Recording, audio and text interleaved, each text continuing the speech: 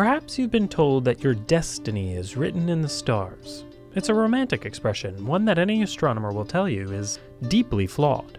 For one, when we look through a telescope, whether it's your own backyard telescope or the large binocular telescope in Arizona, where Dr. Barry Rothberg conducts his own observations, we're actually looking backwards in time.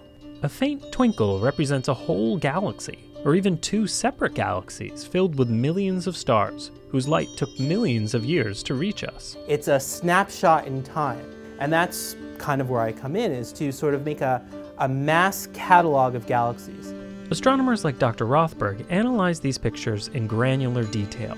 They examine the spectrum of light, the gases, the dust, the motion of the stars within the galaxy.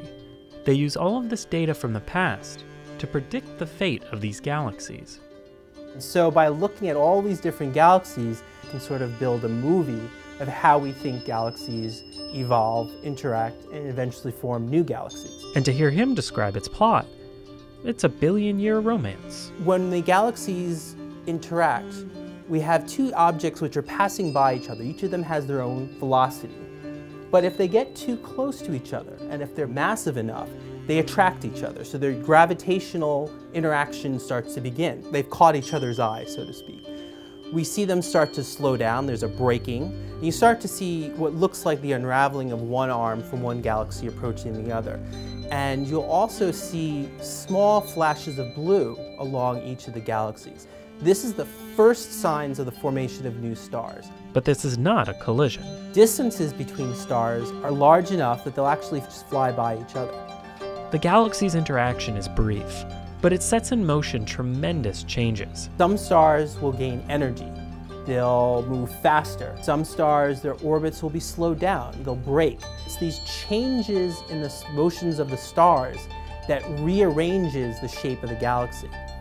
And just like star-crossed lovers, they are inevitably drawn back together by their mass and gravity.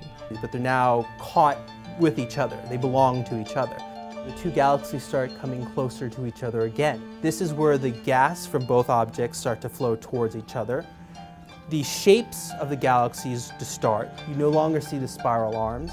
You see a new sort of bright center. And again, you see these blue dots forming. And that's where we get the triggering of a vast quantity of new stars. There's also a lot more dust that's present because we have very large stars that are formed first. They have very, very short lives, in the order of a few million years. All of the dust and the gas in the center of this elliptical galaxy flows inwards and helps to birth an active galactic nucleus in the form of a supermassive black hole. But the biggest, the brightest, most powerful, the ones we call quasars, tend to be found in massive elliptical galaxies. Now, these wondrous mergers aren't always set in stone. Actually, a lot of the times, nothing will happen, or some minor disturbance will happen. It all depends on how fast the two objects are moving and how massive they are. But if you have two big objects, then they will tend to interact with each other more often because they're, they're moving at a slower speed. And here's where the predictive science of galaxy mergers hits home. Well, it's sort of a look into our own future. The Andromeda Galaxy, which is our nearest big spiral galaxy, is rushing toward us at about 700 kilometers a second. Well, we know how fast the two galaxies are moving towards each other. And we have a very good estimate of the mass of our two galaxies. And so it comes down to basic physics.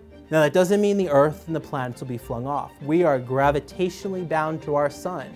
But some stars get just enough speed that they overcome the gravitational pull of the two galaxies and actually get flung off into the void.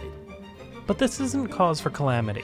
We won't meet our destined partner for another couple billion years. And astronomers like Dr. Rothberg suspect the results of this union will actually be spectacular for us. And as first passage ensues, the stars in our galaxy and the stars in the Andromeda galaxy will get disrupted. And so our beautiful sort of Milky Way will not look the same. So our night sky will start to be lit up by beautiful nebulae, brand new stars forming. These will be visible to our naked eye. We'll see this across our entire sky. Our sky will essentially light up. Well, eventually the Milky Way and the Andromeda will be an elliptical galaxy. It'll be a sphere of stars. So if say we were somehow able to still be around in a couple billion years, we will just see millions and millions and millions more stars all across our sky. That is, if we're lucky. For Science Friday, I'm Luke Groskin.